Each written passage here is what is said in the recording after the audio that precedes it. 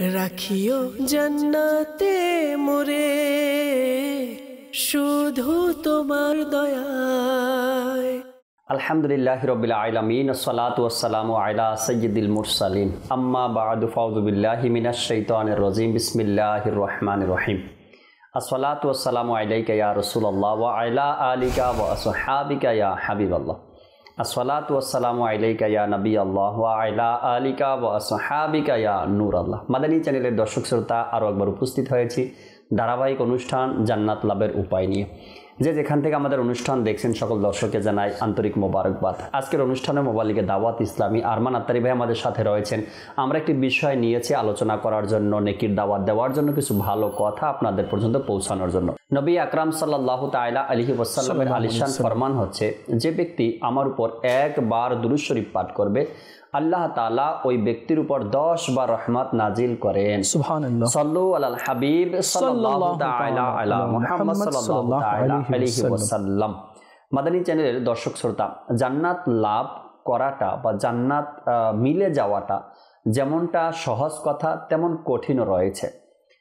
আপনি অধৈর্য হয়ে যাবেন পৃথিবীতে, আবার জান্নাত চাইবেন তা হয় না। আপনি বেপর্দায় চলবেন, জান্নাত চাইবেন তা হয় না। আপনি মিথ্যা বলবেন, জান্নাতে যেতে চাইবেন তা হয় না। আপনাকে ইসলাম যা বলে, শরীয়ত যা বলে, কোরআন, হাদিস যা বলে, তা আপনাকে মেনে এরপরে আপনি আশা করতে পারেন, আমি জান্নাত পেতে চাই। তেমনি ইসলামের মধ্যে একটি বিষয় আছে, ধৈর্য এবং অধৈর্য। আবার অসুস্থ হওয়ার পরে এই বিষয়টা বেশি কাজে লাগে। যখন কোনো ব্যক্তি অসুস্থ হয়ে যায় বা জ্বর আসে, তখন এই ধৈর্য এবং অধৈর্য এই বিষয়টা তার সামনে পরীক্ষা স্বরূপ সামনে চলে আসে। যখন সে অধৈর্য হয়ে যায়, তখন অভিযোগ তুলে ধরে, কেন আমার জ্বর হলো? কেন এমনটা হলো? কেন আমি অসুস্থ থাকি? আর যখন সে ব্যক্তি ধৈর্য ধারণ করে, তখন প্রতিটা মুহূর্ত ওই ব্যক্তি আলহামদুলিল্লাহ বলে শুক্রিয়া আদায় করে। আর জ্বরকে মেনে নেয়। সে অসুস্থ হিসাবে তার দিন চলে যায়। তো ইসলামের মধ্যে সকল বিষয়টা না হ্যাঁ ভালো, মন্দ, জায়জ না জায়জ প্রতিটা বিষয়ের মধ্যে রয়েছে। একজন ব্যক্তির যখন জ্বর আসবে, সে কীভাবে ধৈর্য ধারণ করবে এবং এর ফজিলত কি রয়েছে? জ্বর আসলে এর মধ্যে ধৈর্য ধারণ করলে এর স্বভাব কি রয়েছে? প্রতিদান কি রয়েছে? এটাও আমাদের জানা উচিত। অনেক মানুষের জ্বর আসলে গালমন্দ করে, বিভিন্ন ধরনের কথা বলে, অভিযোগ তুলে ধরে। তো আমরা কি করব? আমাদের কি করণীয় দরকার এ বিষয় নিয়ে আজকে আমরা আলোচনা করব। শুনবেন, ইনশাআল্লাহ জ্বর আসলে কেমনভাবে আমরা ধৈর্য ধারণ করব। আরমান ভাই আছেন? আরমান ভাই? জ্বর যারা আসে, মোটামুটি সে ব্যক্তি একজন অসুস্থ ব্যক্তি। আর জ্বর আসলে এই জ্বর আসা অবস্থায় ধৈর্য ধারণ করা এর প্রতিদান কি রয়েছে এবং জ্বর যে ব্যক্তির আসে অসুস্থ ব্যক্তির কি করণীয় এই বিষয়ে যদি আজকে আলোচনা করি আশা করি সমাজের মধ্যে আমাদের মধ্যে যে সকল ব্যক্তিদের জ্বর আসলে জ্বরকে গালমন্দ করে বা অভিযোগ তুলে বিভিন্ন ধরনের কথা বলে এটা থেকে আশা করি মুসলমান মুক্তি পাবে এবং জ্বরকে আল্লাহ তালার নিয়ামত হিসাবে সে মেনে নিবে। তো ফজিলত এবং সবের ব্যাপারে যদি কিছু কথা বলতেন। আল্লাহ নবী সাল্লাহ আলী ওয়াসাল্লাম জ্বর জ্বরকে মন্দ বলতে নিষেধ করেছেন। সুবাহান আর জ্বর হচ্ছে আল্লাহর আগুনের মধ্যে থেকে একটি আগুন। আল্লাহ আল্লাহ আল্লাহ যার জ্বর হবে আর সে যদি ধৈর্য ধারণ করে তো আল্লাহ তালা তাকে জাহান নামে নিক্ষেপ করবে না। আল্লাহ অনেক সময় দেখা যায় মানুষের জ্বর হয় এবং সে একেবারে দিশেহারা হয়ে যায় ব্যাকুল হয়ে যায়। তো ব্যাকুল হওয়া যাবে না কেননা জ্বর আল্লাহর আগুনের মধ্যে থেকে একটি আগুন। আর আল্লাহ তালা যাকে পছন্দ করে তাকে রোগ দিয়ে এবং কিছু কষ্ট দিয়ে জ্বর দিয়ে কিছু মুসিবত দিয়ে আল্লাহ তালা তার পরীক্ষা নেয়। আর ইসলামের মধ্যে এত সুন্দর নিয়ম রয়েছে বান্দার যদি কোনো রোগ হয় তো গুনাহের কাফারার একটা মাধ্যম হয়ে যায়। হয়ে যায়। কোনো মুসলমান পথ দিয়ে হেঁটে যাচ্ছে সে পড়ে গেল। কষ্ট পেল এই কষ্টেরও স্বভাব সে পাবে। পাবে। মুসলমান যাচ্ছে হঠাৎ করে তার পায়ে কাটা বিধে গেল। উফ আহ! এইভাবে শব্দ বের করল কষ্ট পেল। এই যে কাটা তার পায়ে লেগে গেল এরও স্বভাব সে পাবে। ঠিক সেরভাবে কারও ডায়াবেটিস হয়েছে কারও হার্টের রোগ হয়েছে কারও পেটের রোগ হয়েছে চোখে অসুস্থতা মানে চোখ ব্যথা করে বা মাথা ব্যথা করে বা জ্বর এসেছে এই সবে রোগে কেউ যদি ধৈর্য ধারণ করে তো আল্লাহ তালা তাকে প্রতিদান দুনিয়াতে এবং আখরাতে দান করবে। হাদিসে কারিমার মধ্যে রয়েছে হজরতে সৈদনা জাবের রদি আল্লাহ তালাহ থেকে বর্ণিত হয়েছে নবী করিম রফু রহিম সাল্লাহ আলিহি ওয়াসাল্লাম ইরশাদ করেন জ্বরকে গাল দিও না। কারণ সেটি মানুষের গুণা ঠিক তেমনি ভাবে দূর করে দেয় যেভাবে আগুন লোহার মরিচাকে দূর করে দেয়। এটা সহি বুখারি শরীফের মধ্যে রয়েছে। আরেকটি হাদিসে কারিমার মধ্যে রয়েছে আল্লাহ নবী সাল্লাহ আলী ওয়াসাল্লাম ইরশাদ করেন কারও যদি জ্বর হয় আর সে যদি আল্লাহ তালার রেজা মন্দির জন্য সবর করে তো তার গুণাগুলো এভাবে ঝরে যায় যেভাবে ঝড়ের দিনে গাছের পাতাগুলো ঝরে যায়। তো দেখুন জ্বর আমি যদি চাই কি জ্বর না আসুক কিন্তু তারপরেও জ্বর আসবে। যদি আল্লাহ হুকুম করে তো আমি যদি মনে করি জ্বর চলে যাক তো আমার বললে যাবে না। তো এখন কি করি আমি? এখন আমার করণীয় হচ্ছে ধৈর্য ধারণ করা আল্লাহ তালার জন্য ধৈর্য ধারণ করা। বর্ণিত হয়েছে আল্লাহ নবী সাল্লাহ আলী আসলাম ইসাদ করেন যখন কেউ রোগে আক্রান্ত হয় জ্বর হয় বা অন্য কোনো রোগে আক্রান্ত হয় তো আল্লাহ তালা এক ফেরিস্তাকে নিয়োগ করে। আর আল্লাহ তালা ইরশাদ করেন কি হে আমার ফেরিস্তা দেখো তো আমার ওই বান্দা জ্বরে আক্রান্ত আছে সে অসুস্থ আছে। দেখো তো এই কষ্টে থাকার পরেও আমার বান্দা কি বলছে? আল্লাহ। আল্লাহ তো সব জানে। হ্যাঁ। ফেরিস্তা যায় এরপরে ফিরে আসে। আল্লাহ জিজ্ঞেস করেন এ আমার ফেরিস্তা আমার বান্দা কি বলছিল? কি চায়? তো ফেরিস্তা আরজ করে ইয়া আল্লাহ আজ্জাবাজাল তোমার বান্দা অনেক কষ্টে ছিল তারপরে তোমাকে ডাকছিল। আলহামদুলিল্লাহ বলছিল।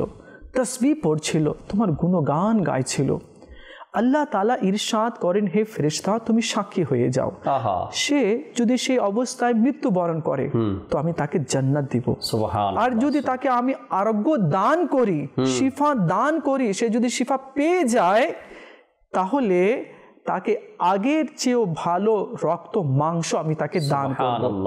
তো দেখুন রোগ যদি চলে আসে আর যারা মেডিকেলে আছে হসপিটালে আছে বা ঘরে রোগে আক্রান্ত রয়েছে। তো এই রোগটা আমার গুনাহের কাফারা স্বরূপ রয়েছে। আর অনেক সময় দেখা যায় জাকির ভাই বাড়িতে অনেক দিন ধরে মা বা বাবা বা দাদা দাদি অসুস্থ হয়ে আছে। অনেক দিন ধরে বছরকে বছর অসুস্থ হয়ে পড়ে রয়েছে ট্রিটমেন্ট হচ্ছে ওষুধ করা হচ্ছে। এরপরে মারা যায়। তো এই যে অসুস্থ অবস্থা কেউ দেখেন মানুষ তো একদিন না একদিন মরে যাবে। মরে যাবে। দুনিয়া ছেড়ে তাকে চলে যেতে হবে।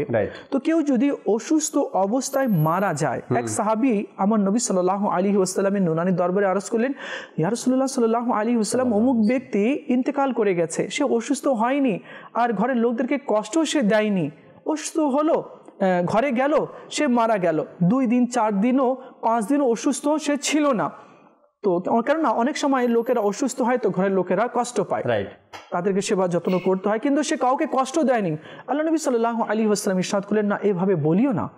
যখন কেউ অসুস্থ অবস্থায় মৃত্যুবরণ করে তো তার গুণাগুলো ওই রোগের কারণে ঝরে যায়। আল্লাহ, তালা ওই রোগকে। গুনাহের কাফারা করে দেয়। তো এই জন্য রোগ দেখেন আমিও জ্বরে আক্রান্ত হয়ে যাই মাঝে মাঝে মাথা ব্যথা করে। আপনারও হয়। মাদিনী চ্যানেলের দর্শকবৃন্দ যারা শুনছেন তারাও হয়। হয়। তো এই সময় কি করব? এই সময় ধৈর্য ধারণ করব আল্লাহ পাকের শুক্রিয়া আদায় করব। রাইট মাশাল্লাহ আসলে আহ, জ্বর যে আসে এটা আহ, মানুষকে এমনিও আসে জ্বরটা আসার বা মানুষের গায়ে যে জ্বর আসে, এটা বিভিন্ন কারণবশত হয়। কখনো হয় ঠান্ডা জ্বর, কখনো হয় ভাইরাস জ্বর, কখনো অন্যান্য কারণে হয় বা এমনিতেও হয়। আর একজন ব্যক্তিকে, একজন ব্যক্তির যে জ্বর আসবে না বা জ্বর হবে না, এমনটা নয়। প্রতিটা মানুষেরই জ্বর আসে, জ্বর আসতে পারে, এটা স্বাভাবিক। হয়তো কারও আছে, দর্শক শ্রোতা, বছরে একবার জ্বর আসে। আবার কারও আছে, বছরে দুইবার আসে, আবার কারও আছে, প্রায় সময় জ্বরে এসে আক্রান্ত হয়। এখন এটা নয় কি আপনি জ্বর হওয়ার পরে বিভিন্ন ধরনের কথা বলবেন, অভিযোগ তুলবেন, আরে বারবার আমার জ্বর হচ্ছে, আশেপাশে কত মানুষ আছে, তাদের কেন জ্বর হয় না, আমি একজন উপার্জনের মাধ্যম, আমার জ্বর হয়, কিন্তু অন্য লোকের হয় না, এমনটা নয়। জ্বর আসারও কিছু কারণ আছে। কোন কারণে আসছে সেটাও দেখতে হবে, প্লাস সবসময় তো সারা বছর তো হয় না। এভাবে আসছে হাদিসে মোবারকের মধ্যে আরমান ভাই, যে একবার এক সাহাবি জ্বরে আক্রান্ত হলেন। তো নবী পাক সাল্লাহ তাইল আলী সাল্লামের দরবারে আসলো এসে বলল ইয়া রসুল্লাহ আমার জ্বর এসেছে একটু দোয়া করে দেন যাতে জ্বর দূর হয়ে যায়। হুজুর আকরাম সাল্লাহ আলি সাল্লাম তার জন্য দোয়াও করলেন এবং জ্বর আসার ফজিলত বললেন। জ্বর আসলে কি কি উপকারিতা রয়েছে এবং তার জন্য জান্নাত অপেক্ষা করছে তার গুণা ক্ষমা হয়ে যাচ্ছে। তো এই কথা শুনে ওই সাহাবি বললেন দোয়া করলেন আল্লাহ আমাকে সবসময় জ্বর অবস্থায় রাখো আমার যেন সবসময় জ্বর থাকে আর এই জ্বর নিয়েই যেন আমি দুনিয়া থেকে বিদায় নিতে পারি এমন জ্বর দাও যাতে করে আমার ইবাদত রিয়াজতে কোনো ব্যাঘাত না ঘটে। তো হাদিসে মোবারকার মধ্যে এসেছে ওই সাহাবি যতদিন দুনিয়ায় বেঁচে ছিলেন তার জ্বর ছিল কিন্তু তার ইবাদত রিয়াজতে কোনো ব্যাঘাত ঘটেনি। তো জ্বরের ফজিলত রয়েছে। আচ্ছা কিছু জ্বর কিন্তু নিজের কারণেও আসে। এরপরে নিজেরা আবার আফসুস করি অনু- অনুশোচনা করি। কেন? কীভাবে? আরমান ভাই, জেনে শুনে আমরা হঠাৎ করে বৃষ্টি আসলে ভিজতে চাই। ভিজি আমরা। ইচ্ছা করে ভিজি। এটা চিন্তা করি না কি আমি কি বৃষ্টির পানি দিয়ে গোসল করতে পারব কি না আমার কতটুকু ধারণ ক্ষমতা আছে ভিজলে আবার ঠান্ডা না লেগে যায় জ্বর না আসে এটাও দেখতে হবে জি। আবার অনেক মানুষ শীতের সময় যখন শীতের দিনগুলো আসে ওই সময় কম্বল হোক বা চাদর মোটা চাদর যেগুলো আমরা রাতে ঘুমানোর সময় ব্যবহার করি এগুলো ছাড়া ঘুমিয়ে যায় তো পরে দেখা যায় ঠান্ডা লেগে যায় জ্বর চলে আসে বিভিন্ন কারণগুলো আছে তো যখন জ্বর আসে তখন আমরা ভোগান্তির মধ্যে পড়ে যাই অভিযোগ তুলি বিভিন্ন ধরনের কথা বলি আর নিজে তখন অপরাধী আর থাকি না তখন বিভিন্ন কথা বলে আমরা দূর করতে চাই। কিন্তু এমনটা নয় জ্বর কিন্তু আল্লাহ তালার পক্ষ থেকে এক নিয়ামত। গুণা ক্ষমাহের মাধ্যম ক্ষমা পাওয়ার এক মাধ্যম জ্বর আসা। যখন আসে আমাদের উচিত শুক্রিয়া আদায় আল্লাহ নবী সাল্লাহ আলী ওসাল্লাম এক সাহাবি রদি আল্লাহ তালার কাছে তশরিফ নিয়ে গেলেন। দেখুন রোগীকে দেখতে যাওয়াও আমার নবীর সুন্নত রয়েছে। সুবাহান আল্লাহ আমার নবী সাল্লাহ আলী ওসাল্লাম যখন দেখতে গেলেন জি। সেই সাহাবি রসুল আরজ করলেন ইয়া সৈয়দি ইয়া রসুল্লাহ সাল্লাহ আলী ওসাল্লাম আমার জ্বর এসেছে। আর যাতে জ্বর আমার না বাড়ে আপনি দোয়া করে দিন।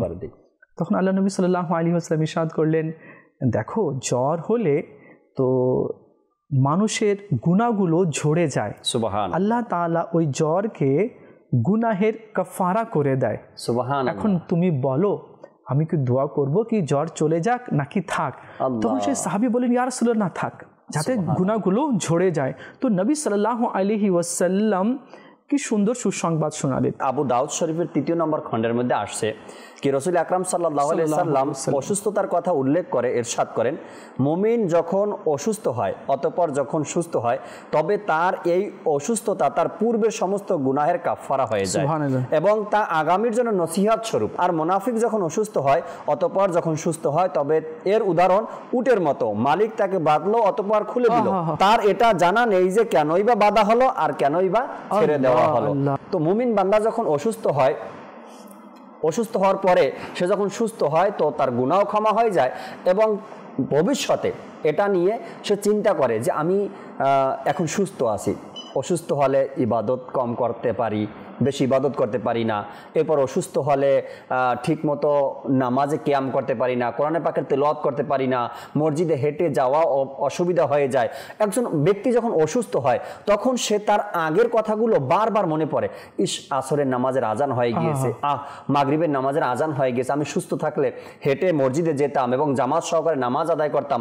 ওই ব্যক্তি যখন এগুলো অনুশোচনা করে আল্লাহ তালা তারও প্রতিদান দিয়ে দেন। আল্লাহ তালা তারও সবাব দান করেন। আর যখন সে ভালো হয়ে যায় সুস্থ হয়ে যায় তখন সে আবার ওই অসুস্থতার কথা ভাবে। আহ যাক আল্লাহ তালা শুক্রিয়া যে আমি অসুস্থ ছিলাম জ্বর ছিল। আমার আমি নামাজ জামাতে আদায় করতে পারিনি অসুস্থতার কারণে। এখন আমি সবার আগে যাই প্রথম কাতারে দাঁড়িয়ে যাই। জামাত সহকারে তাকবির উল্লার সাথে আমরা নামাজ আদায় করি। তো এটা হয়েছে মুমিনের আলামত মুমিনের হৃদয়টা মসজিদে যাওয়ার জন্য বেকুল হয়ে এখন জাকির ভাই এখানে মমিনের কথা আপনি বললেন। মমিন বান্দা মুসলমান নেককার যখন অসুস্থ হয় আর সুস্থ অবস্থায় যে আমল করতে পারতো না অসুস্থ আছে বিছানায় আছে তো আল্লাহ তালা ফেরিস্তাদেরকে নির্দেশ দেন। হে ফেরেশতারা সে সুস্থ অবস্থায় যখন সে সুস্থ ভালো ছিল ভালো ছিল। তো যে যে আমল করত সেই আমলগুলো তার আমল নামায় লিখে দাও। আর একটি চমৎকার আমি হাদিসে কারিমা তুলে ধরতে চাচ্ছি। মাশাআল্লাহ। যদি শুনি তো ইনশাআল্লাহ মন একেবারে ভরে যাবে। সেদনা আবু হুরায়রা রাদিয়াল্লাহু এই হাদিসটি নকল করেছেন। তিনি বলেন কি মাহবুবে করিম রহমতুলিল আলমিন জনাবে আমিন আখরি নবী মুস্তফা করিম সাল্লাহ তালা আলী আলহি ওয়াসাল্লাম ইরশাদ করেছেন। যখন কোনো পুরুষ বা মহিলা জ্বরে বা সর্দিতে আক্রান্ত হয় আর তার মাথাতে যদি পাহাড় সমতুল্য গুণা থাকে সে যখন জ্বর বা সর্দি থেকে আরোগ্য লাভ করে তখন সে মহিলা বা পুরুষের মাথায় শস্যা বরাবর গুণা বাকি থাকে। আল্লাহ দেখুন এটা গুণা মাফের কি সুন্দর একটি মাধ্যম রয়েছে। আমরা ধৈর্য হারা না হই জ্বরও একটি নিয়ামত রয়েছে আমার নবী সাল্লাহ তালা আলিহি ওয়ালিহি ওয়াসাল্লামরও জ্বর হয়েছে আমাদের আপনার বা অন্যান্য লোকের যত জ্বর আসে। বা যত জ্বর হয় যত ডিগ্রি তো তার চেয়ে বেশি ডাবল জ্বর আমার নবী সাল্লাহ আলী আসসালামের হতো। তো এক সাহাবি রসুল আরস করলেন ইয়া রসুল্লাহ সাল্লাহ আলী আসসালাম এত জ্বর তোমাদের থেকে দ্বিগুণ আমার জ্বর হয়। তো সাহাবি রসুল বললেন ইয়া রসুল্লাহ সাল্লাহ সাল্লাম আপনি নবী আর স্বভাব বেশি হবে এই জন্য? বলেন হ্যাঁ এই জন্য। তো দেখুন আমার নবী সাল্লাহ আলী আসসালামেরও জ্বর এসেছে। একবার জ্বর এসে আমার নবী সাল্লাহ আলী আসসালামের কাছে আরস করল। তো আমার নবী সাল্লাহ আলী আসসালাম ইরশাদ করলে তুমি অমুক গ্রামের দিকে চলে যাও। তো জ্বর চলে গেল তো কিছু লোকের জ্বর হলো। তারা এসে অভিযোগ করল ইয়া রসুল্লাহ সাল্লাহ আলী হোসাল্লাম আমাদের জ্বর হয়েছে কি করি? আচ্ছা। তো আমার নবী সাল্লাহ আলী হোসাল্লাম ইরশাদ করলেন তোমরা যদি বলো তো আমি দোয়া করে দিব আর বলে দিব জ্বর যাতে সেখান থেকে চলে যায়। আর তোমরা যদি ধৈর্য ধারণ করো তোমরা কি জানো এই ধৈর্য ধারণ করার এর প্রতিদান কি রয়েছে? পুরস্কার কি রয়েছে? এর পুরস্কার রয়েছে কি তোমাদের গুণাগুলো এভাবে ঝরে যাবে যেভাবে ঝড়ের দিনে গাছের পাতাগুলো ঝরে যায়। আরেকটি হাদিসে কারিমাতে এসেছে যেভাবে লোহার মধ্যে যে মরিচা লাগে আগুন যেভাবে পরিষ্কার করে দেয় ঠিক সেই ভাবে তোমাদের গুণাগুলো পরিষ্কার হয়ে যাবে। তখন বলেন না ঠিক আছে তাহলে থাক সে যতদিন থাকতে চায় থাকে। তো দেখুন জ্বর সবারই আসে বাচ্চারও আসে আমাদেরও আসে। যুবকদেরও আসে বৃদ্ধদেরও আসে। আমার নবী বলেছেন মন্দ বলিও না গাল দিও না জ্বরকে। ধৈর্য ধারণ করো। আল্লাহ ইনশা আল্লাহ তোমাকে মাফ করে দেবে এর প্রতিদান তোমাকে দান করবে। আমরা কিন্তু সবাই সওয়াবের আশাবাদী বা প্রতিদানের আশাবাদী। আমরা চাই কি কিছু না কোনো না কোনো মাধ্যমে আমল নামায় নেকি পরিপূর্ণ কোনো না কোনো মাধ্যমে যেন আমাদের আমল নামায় নেকি লেখা হয়। দেখুন জ্বর আসলে আহ ও তো করতেই থাকি সবাই। বাস অভিযোগ না করা। বলে হয় না কি এভাবে বলে না কি আমি অসুস্থ হয়ে পড়লাম বা শুধু আমারই জ্বর আসে বা আমার ছেলের জ্বর আসে আহ, আমার ছেলে মাদ্রাসায় পড়ে বা আমার ছেলে ভদ্র ছেলে বারবার জ্বর আসে অসুস্থ হয়ে পড়ে। এই যে একটা অভিযোগ যদি অভিযোগ না করি তবেই তো প্রতিদানগুলো পাবো। গালমন্দ করলে আর তো সে প্রতিদান পাবো না কিন্তু প্রতিদানের আশা রাখি আমরা পাবো। তবে আমাদেরকে গালমন্দ করা যাবে না জ্বরকে বা আমার মনে হয় জাকির ভাই কি এবার আজকের যে অনুষ্ঠান দেখে যে প্রতিদান বা আমার নবীরও জ্বর হয়েছে জ্বর হলে কি হয় আমার মনে নাকি আর কেউ অভিযোগ করবে। অভিযোগ করবে। আশা রাখি এটাই যাতে করে এমন হয়ে যায়। আমরা যেন জ্বর আসার পরে অভিযোগ না করি গালমন্দ জ্বরকে না করি। আর একটা কথা এখন সওয়াবের কথা শুনলাম আর প্রতিদানের কথাও শুনলাম। এজন্য যেন আবার ইচ্ছাকৃতভাবে নিজের উপরে আমরা জুলুম না করি। কীভাবে ইচ্ছাকৃতভাবে বৃষ্টির পানিতে ভিজলাম, বেশি সময় গোসল করলাম বা এমন একটা মৌসুম চলে আসলো, ফ্যানের নিচে শুইলে ঠান্ডা লেগে যেতে পারে, জ্বর আসতে পারে বা বেশি সময় এসির মধ্যে থাকলে হয়তো বা ঠান্ডা লেগে যেতে পারে। ইচ্ছাকৃতভাবে যেন আমরা আবার নিজের প্রতি জুলুম না করি আর যেন জ্বর নিয়ে না আসি। অনেক ফজিলতের কথা শুনলাম, এখন আমি এটা করি যাতে করে জ্বর চলে আসে। আচ্ছা এখানে আরেকটা কথা আছে। এখন এর মানে এটা নাকি জ্বর আসলে আমি ওষুধ খাব না। হ্যাঁ. ওষুধ খেতে জ্বর চলে এসেছে। এখন ডক্টর ওষুধ লিখে দিয়েছে টাইমলি ওষুধ খেতে হবে। আর যেসব বিষয়ে ডক্টর বলে। পরামর্শ দেয় সে অনুযায়ী আমলও করতে হবে। এর মানে না ঠিক আছে জ্বর এসেছে জ্বর নিজের কাজ করবে। কিন্তু ওষুধ করাও ওষুধ খাওয়াও আমার নবীর সুন্নত রয়েছে। আচ্ছা হ্যাঁ আরেকটি ইম্পর্টেন্ট কথা যখন ওষুধের কথার ব্যাপারে চলে এসেছে উলমা কেরাম বলেছেন কি যার রোগ হলো যে অসুস্থ হলো আর সে যদি ওষুধ না খায় নিজের চিকিৎসা না করে আর ঠিক আছে দেখা যাবে বাধ্য না করব না এই সেই অবহেলা করল করলোই না। ওষুধ খেলো না চিকিৎসাও করল না। তো সুইসাইড আত্মহত্যা করার গুণা লেখা যাবে। আল্লাহ আল্লাহ এই জন্য অবহেলা করতে নেই। মুসা আলি সাল্লামও ওষুধ খেয়েছেন। আমার নবী সাল্লাহ আলী আসসালাম ওষুধ খেয়েছেন এবং ওষুধ খাবার জন্য নির্দেশও দিয়েছেন। মাশাআল্লাহ মাশা আরেকটা কথা এখানে আরমান ভাই আবার আমরা যেন ওষুধের উপরে নির্ভরশীল না হই। আমরা ওষুধ এটা মাধ্যম বানাবো সুস্থ হওয়ার জন্য মাধ্যম এটা। আর ভরসা রাখব আল্লাহ তালার প্রতি। আল্লাহ তালার রহমতের প্রতি ভরসা রাখব ওষুধের প্রতি আমরা নির্ভরশীল হব না। হ্যাঁ ওষুধ ভালো করার মাধ্যম হতে পারে কিন্তু আল্লাহ তালার রহমতের প্রতি আমরা ভরসা রাখব। এখানে আরেকটু কথা বলতে চাচ্ছি। আমাদের বাড়িতে মহল্লাতে বা প্রতিবেশীতে দেখা যায় কি কেউ যদি অসুস্থ হয় কিছু কিছু মানুষ আছে তারা দেখতে যায় খোঁজ খবর নেয় ভাই কেমন আছো ভাই? ভালো আছো ভাই? কিছু প্রয়োজন আছে কিনা? এভাবে আছে লোক খোঁজ খবর নেয়. বা বাড়িতেই দশজন ফ্যামিলির মধ্যে আছে একজন এমন থাকে কি কেউ অসুস্থ হলে ডক্টরের কাছে নিয়ে যায় খবর নেয়। খবর নেয় তারপরে সেবা যত্ন করে। তো এর কি প্রতিদান রয়েছে? হাজিতে সেদিনা মুসা কালিমুল্লাহ আলা নবিয়ানা বা আলহি সাল্লাতাম আরস করলেন ইয়া আল্লাহ আজ্জাওয়াজাল কেউ যখন অসুস্থ হয় আর তার সেবা যত্ন বা দেখতে কেউ যখন যায় বা সেবা যত্ন করে তো মলা তুমি তার জন্য কি প্রতিদান রেখেছো? তো আল্লাহ তালা ইসাদ করেন সে যখন মারা যাবে তো আমি দুটো ফেরেস্তা তার কবরে পাঠাবো। আল্লাহ। সে যাতে তাকে দেখতে যায়। আর এই আমলটা ফেরেস্তা কেমতের সকাল পর্যন্ত করবে।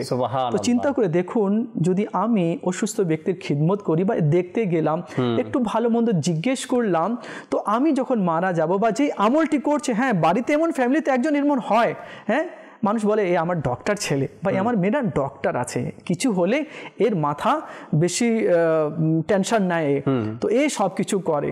তো যে এমনটি সেবা যত্ন করে তো সে যখন মারা যাবে তো তাকে দেখার জন্য ফেরেস্তারা আসবে। সুবাহান আল্লাহ সুবাহান আল্লাহ আল্লাহ তাবারক ও তাআলা আমাদেরকেও যা শুনেছি এ মোতাবেক আমল করা নিজের জীবনকে পরিচালনা করার তৌফিক আল্লাহ আমাদেরকে দান করুক। আমল করে জান্নাত অর্জন করা সে তৌফিক আল্লাহ আমাদেরকে দান করুক। আমিন বিজাহিন নাবিল আমিন। সাল্লাল্লাহু তাআলা আলহি ওসাল্লাম মাদানী চ্যানেলের সাথেই থাকুন। সাল্লু আলাল হাবিব সাল্লাল্লাহু তাআলা আলা মুহাম্মদ সাল্লাল্লাহু তাআলা আলাইহি ওয়াসাল্লাম। রাখিও জান্নাতে মোরে শুধু তোমার দয়ায়।